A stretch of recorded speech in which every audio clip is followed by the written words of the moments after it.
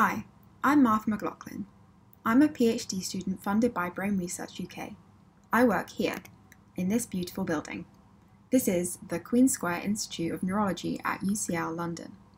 I'm working as part of a team of people researching ALS among other movement disorders. You might have heard of ALS from the Ice Bucket Challenge a few years ago. If not, here's a quick introduction. ALS is a type of motor neuron disease. Motor neurons are the nerve cells that carry messages from your brain to your muscles in order to move. That means in ALS, when these motor neurons begin to die, this causes the person to have muscle weakness. Unfortunately, most cases of ALS are fatal and there's no cure. In order to find treatments for ALS, we need to understand what's causing the motor neurons to die.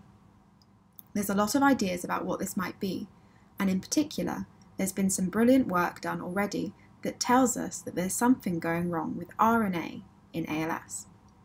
So, what's RNA? RNA is how the cells read the instructions that are in our DNA. Each of our cells has all the instructions it could ever need to function tucked away in its DNA. But no single cell could possibly use all of these instructions at one time. So, it reads little bits at a time, called genes, by turning these genes into RNA. The instructions in these genes are often to make a protein the cell needs, but other genes make RNA that can do all sorts of jobs in the cell, including influence other RNA, which makes the biology quite complicated. In my project, I'm looking at two proteins that interact with this complicated system of RNA in the cell. These two proteins can come out of the nucleus where they normally are and accumulate in the cytoplasm in ALS. You only need one of these proteins to go wrong to develop disease.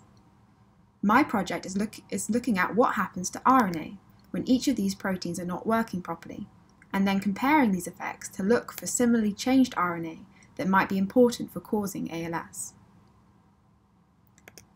Hopefully, by better understanding how disrupting these proteins can lead to problems with RNA, we can better understand the causes of ALS and therefore get closer to a cure.